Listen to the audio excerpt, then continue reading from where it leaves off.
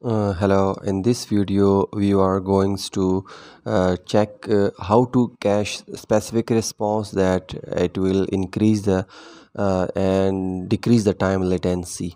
So the first endpoint we are hitting without cache it will taking much time. Every time user request for the spe specific endpoint of KrakenD it will takes time uh, because it will not cache cache response uh, what actually we will do we will pass in extra config features of QoS http cache.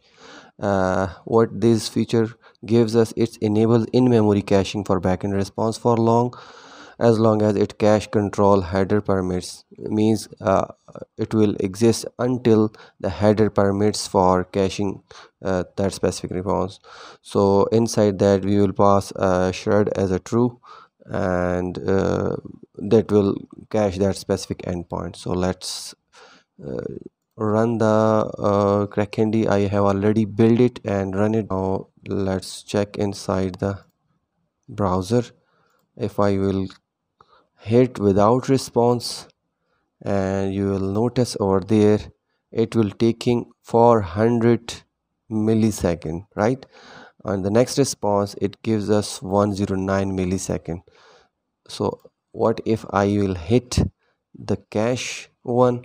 It in the first response it will take a few time. After that it will not take as much time.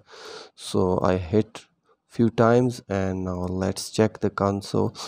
Uh, inside that the endpoint of cache response you will notice that first request uh, which gives uh, 113 milliseconds. On the second it will not uh, even a single millisecond it's nanosecond right? So here you can notice that with cache how much the response time decrease and latency is decrease and if it's too much efficient. So that's it for the mm, caching a specific response with that specific extra config